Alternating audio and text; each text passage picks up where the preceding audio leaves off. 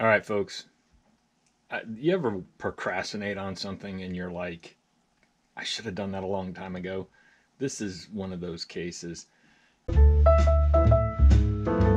Hey, friends. This is the beginning of our baseline in a journey we're going to take with these Pioneer CS88As.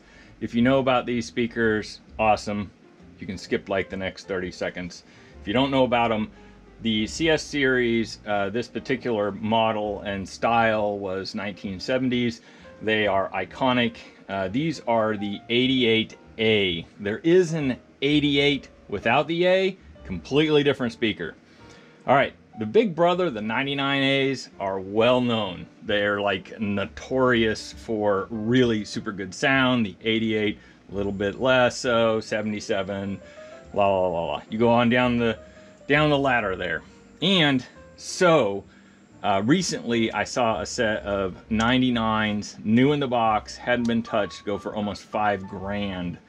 Um, so they're very expensive. A uh, pair of 99s without, you know, with just trashed will will go for a solid 400, 500 bucks. Hell, I've seen people just buy the darn wood cabinets for a couple hundred bucks. All right, these are the 88s, not the 99s. The 88s are uh, highly desirable as well. The 77s less so. But I'll tell you what, these things weigh a freaking ton, a metric ton, not literally, but they feel like it. I don't doubt it. Each one of these is 40, 45 pounds. Uh, and then uh, in here, you have a 12, a four and a half, uh, three, and a horn. And I think the horn is, I don't know that it's a genuine horn. I think it might just be a tweeter fashion to look like a horn. But anyway, sounds really, really good. Uh, the refoaming has already been done on these. So actually, if you're going to buy a pair of these, you're just, if they haven't been refoamed already, you're going to have to refoam these. These are fabric. So awesome sauce. The speakers alone, just a replacement 12 inch speaker for this, uh, a vintage original is going to be a hundred, hundred bones and it'll probably need some uh, help. Uh, if you want a really, really good one, you're gonna have to pay up. Anyways, so uh, generally, in general, this is a really, really good example. Uh, it's got a couple of dings and dents as they all will, or many of them will, that is. But the real problem with this set is the crossover has stopped working for uh, select few of the speakers and what we're going to do is rebuild the crossovers today. So first we're going to take a baseline to see how it sounds um, with uh, maybe, I don't know, I'll choose some music that is pleasing, uh, non-copyrighted, so uh, we can listen to it freely and so on. Copyright please won't get me. Get, get me. All right, anyways, let's get going. Okay, to begin the calibration, what we're going to do is get the uh, decibel meter at 1000 hertz to 80. And we're going to lock everything in, and then I'm going to play a snippet of music. I'm not going to drag you through the tone piece because it's just, it's loud, annoying, and it's just not pleasant. So uh, just please trust that I got it there. And uh, if, yeah, if you didn't like not seeing it, then well, buy a pair and, and do the tests. All right, we're going to play uh, about 30 seconds of this uh, video here.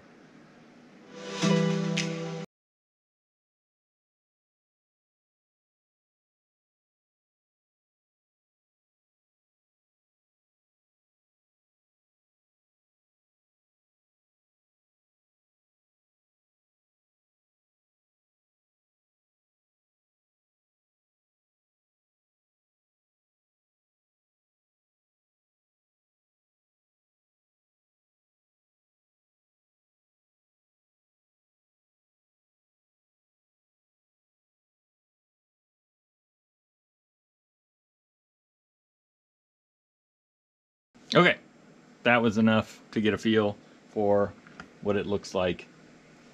Let's get into this. Oh, wait, actually, I'm going to test the uh, individual speakers as well. uh, I'll just do that off camera.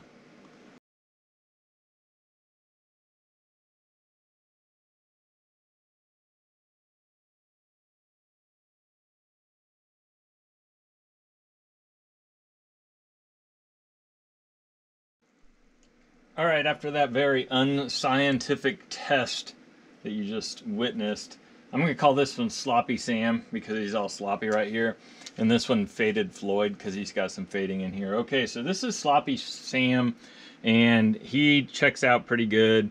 So uh, not to go over the other speaker because it pretty much looks the same. Now the issue becomes that this super tweeter on this side is quieter than that side as well as these uh, three inch, I think three inch, yeah, three inch are uh, noisier than the three inch on this side. So chances are it's capacitor, but, but let's take them out, recap them, and see if that is the case.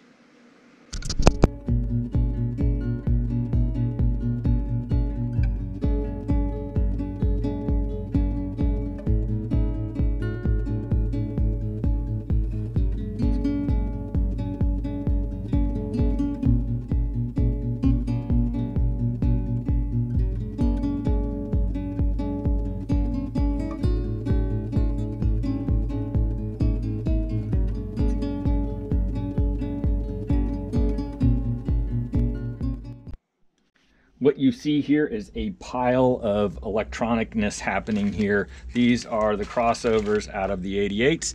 These are crossovers out of a 77. Now I went and dug these out out of my spares box primarily because the coil on these are the same as these and I am uh, maybe possibly going to need them. You can see that the lead's broken. And uh, these, this one is Floyd so this is actually the one that was working right. My guess is it was working right because um, the settings, and they were both set to the same settings, is using the 15 ohm coil instead of the 30 ohm coil, potentially, I'm hoping. Anyways, so the other issue that we're going to have is uh, this, um, these are the 50 uh, uh, microfarad um, this is a little bit of a size difference. We're gonna we're gonna have to figure out some way to uh, raise it, maybe make like a little bracket. I was gonna go out in my wood shop and see if I can make something real quick. Uh, the rest of these, so I've got a 30, 35, 3, and 1. All right, what I'll do is I'm to label all of these in their positions, and then I'm to take them all off. Um, I'm going to take good care of them because if we find out that these, in fact, aren't going to work, I'm to recycle. So that's that, good to go. Let's do this.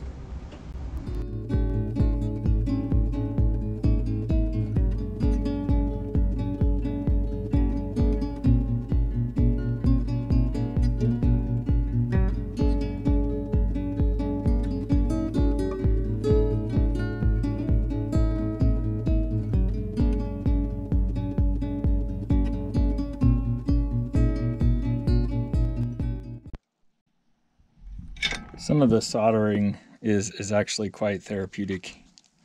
If you watch this here, the uh, it's like one of those satisfying things to watch. You see how it just soaks it up.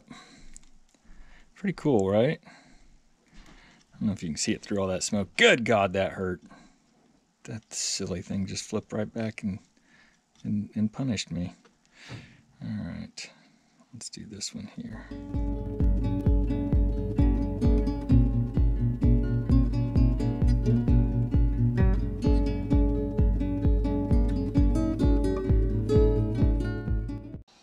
So at this point, I'm actually, I've actually got the first capacitor unhooked. I got the coils all back on and they're nice and sturdy. Good stuff there. I did put some new um, uh, shrink wrap type stuff. I don't remember what it's called. Um, well, here it is. Heat shrink. Shrink wrap. Same thing, right? Uh, so anyways, I, I have that. I, I just had this wonderful idea too, is that I'm not going to worry with making new brackets. I'm just going to glue these to the old capacitors that are in here. I know that's not probably very funny, but that's what I'm going to do. because I can, because it's mine. So just glue those right to there. Now I don't have to make a bracket and I'm a winner winner chicken dinner. All right, so a little hot glue. Now I wanted to create like a baseline. So I have a, a capacitor tester, cap tester on this um, meter. And so what I'm going to do is I'm going to take this Dayton Audio that's 50 microfarads and we're going to test it out. It takes a second to get a good reading. Alright, it should keep coming up. Alright, there we go. It's supposed to be a 50. I just slipped on accident. That's why it went down to 35. Okay, so it's supposed to be a 50 and it's supposed to be 5%, right?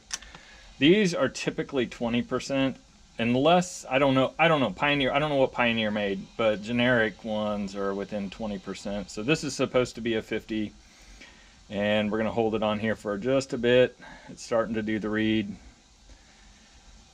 it's getting a little bit come on come on Betsy 70 70 yeah.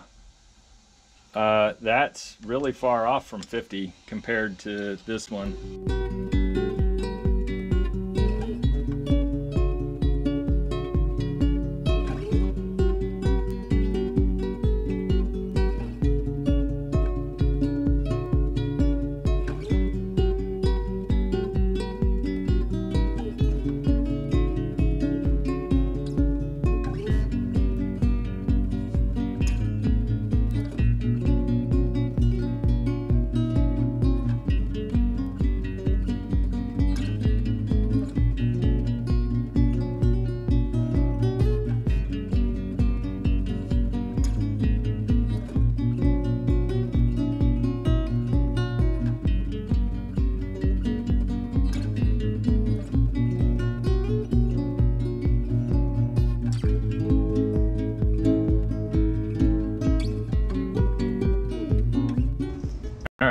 done and it's time for testing. Uh, what I like to do is, first of all, turn the volume down so I don't scare myself. Uh, just grab a speaker and just go line by line. All right, that one checks out. Let's go for the yellow here. That's probably the super tweeter.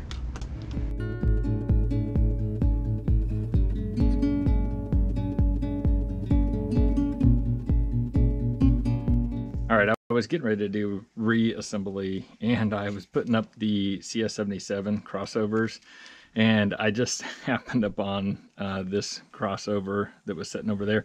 This is a three-way out of, I believe, a JBL. I'm fairly certain it's a JBL. And these were higher end JBLs. They weren't, uh, they weren't slop, but This is as big as the crossover is in a in a more modern speaker. Isn't that amazing? Um, this isn't nearly as as good. just just putting it out there.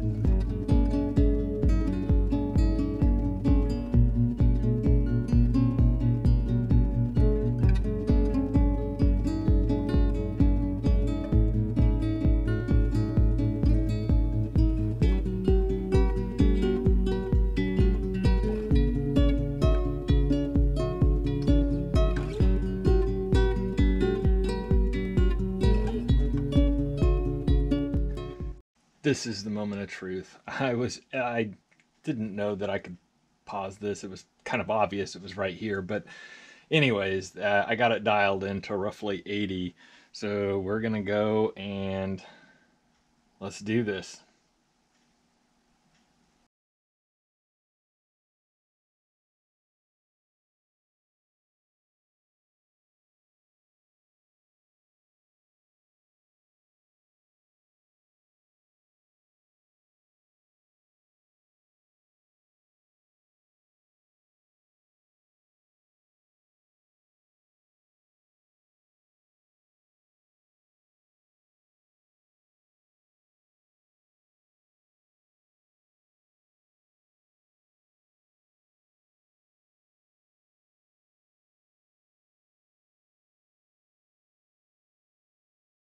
At the speakers, you can see there is a substantial difference in the upper end speakers. So on the left hand side, we have the red, which is before.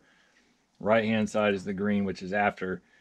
And if you just look across the tweeters in the mid range, you see a substantial difference from left to right, which is good because that shows up in the next illustration, which is actually some really crappy screenshots it's really, really hard to get the timing right on the videos and the video quality right and all that other stuff. But you get the point with the highlighted lines that before we recapped, it was pretty much just a straight ascending line.